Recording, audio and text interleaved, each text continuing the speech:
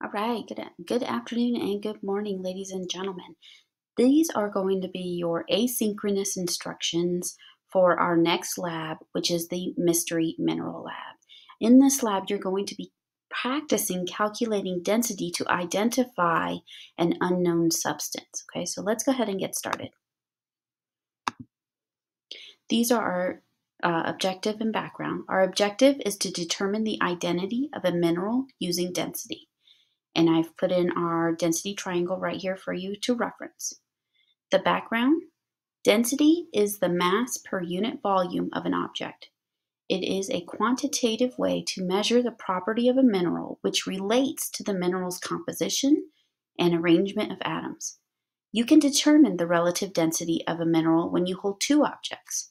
The denser object will feel heavier, you can also use the mass and volume of each object to calculate its density. Density is equal to the mass of the object divided by the volume of the object. So density equals mass divided by volume.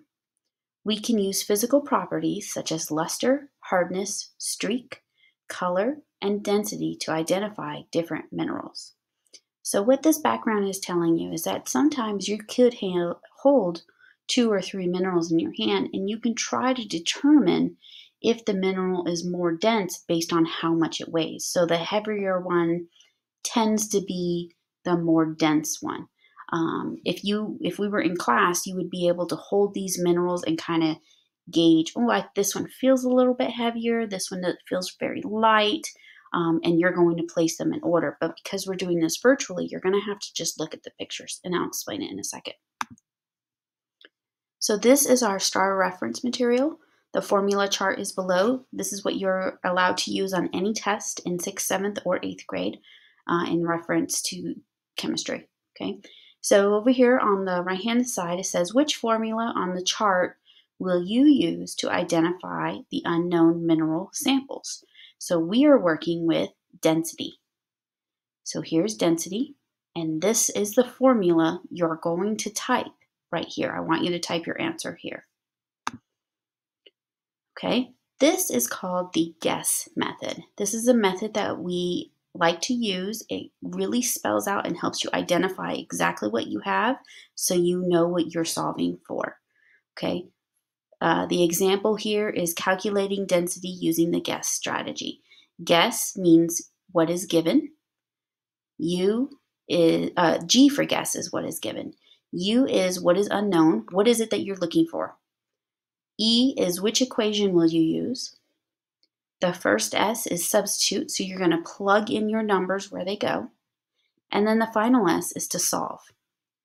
So they work out an example for you. Uh, it says the mass of a mineral is found to be 14 grams and has a volume of 2 milliliters. What is the density of the mineral? Okay, so if I follow this chart, what is given? Well, it tells me mass. Mass is right here. And it tells me volume. Volume is right here. So I'm going to plug those two items here. What is unknown? What is it that I'm solving for? The question asks, what is the density? So I'm going to solve for density, the density of the mineral.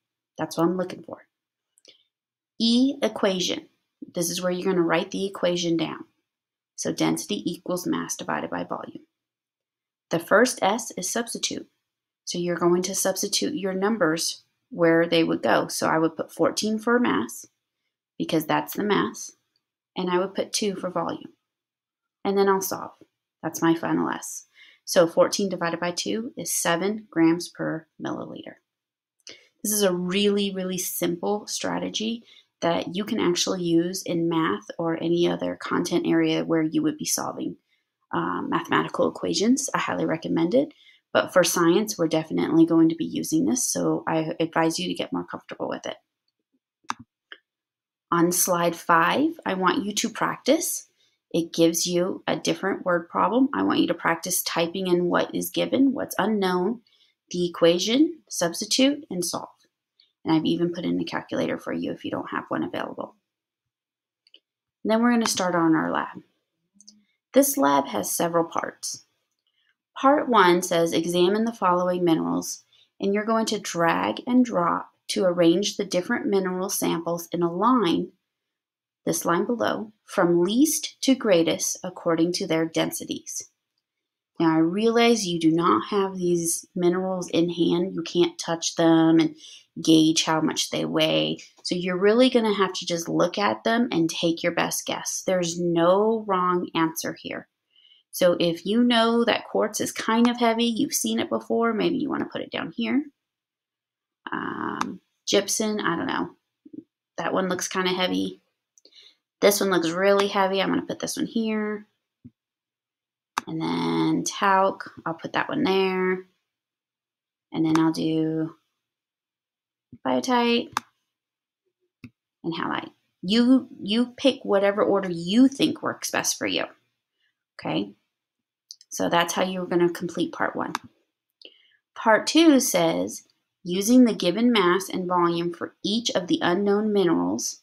The unknown minerals are these. These are the unknown minerals.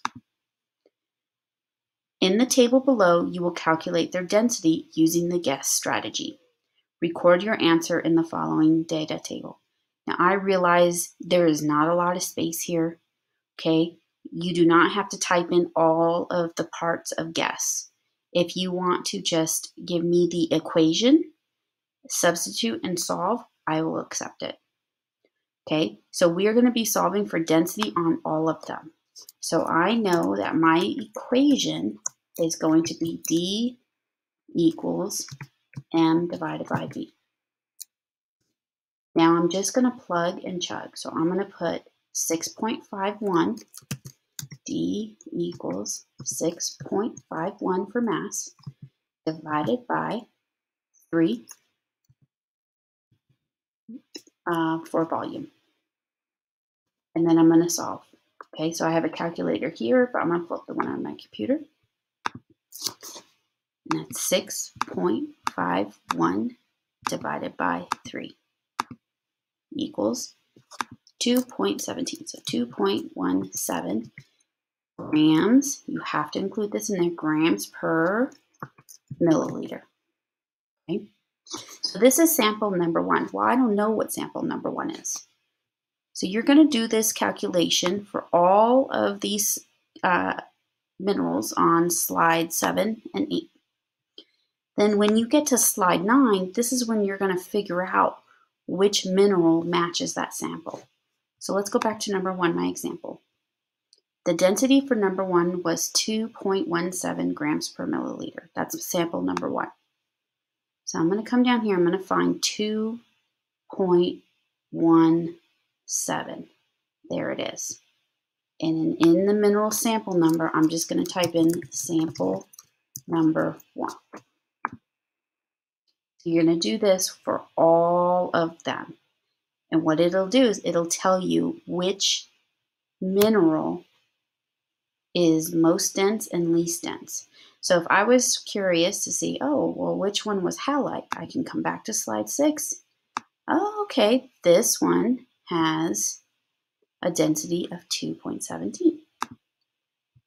Okay.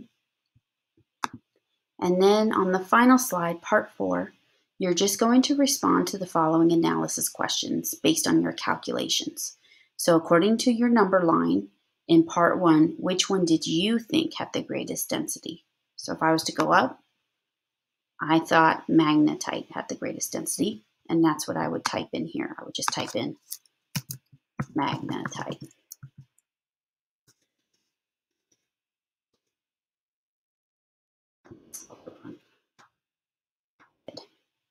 Okay. And you're going to do that for all of these questions here. And once you are finished with these questions, you will be all done with the lab and you can turn it in. Have a great day.